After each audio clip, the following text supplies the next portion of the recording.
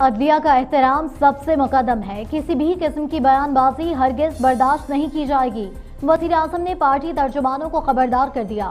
سخت ہدایات جاری کرتے ہوئے کہا، ڈسپلن کی خلاف ورزی پر سخت کارروائی ہوگی۔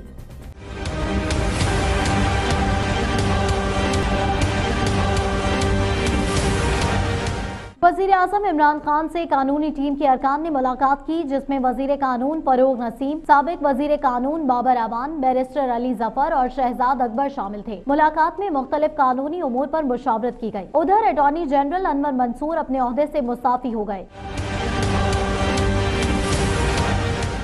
نے اپنا استعفیٰ صدر مملکت ڈاکٹر عارف الوی کو بھجوا دیا۔ استعفے کے متن میں کہا، پاکستان بار کاؤنسل نے تعیناتی پر سوال اٹھائے تھے۔ پاکستان بار کاؤنسل نے استعفے کا مطالبہ کیا تھا۔ اس صورتحال کی روشنی میں عہدے سے مستعفی ہو رہا ہوں۔ وزیر اعظم نے پارٹی ترجمانوں کو سخت ہدایات جاری کرتے ہوئے کہا، عدلیہ کا احترام سب سے مقدم ہے۔ کسی بھی قسم کی بیان بازی ہرگز برداشت نہیں کی جائے گی۔ ڈسپلن کی خلاف ورزی پر سخت کارروائی ہوگی۔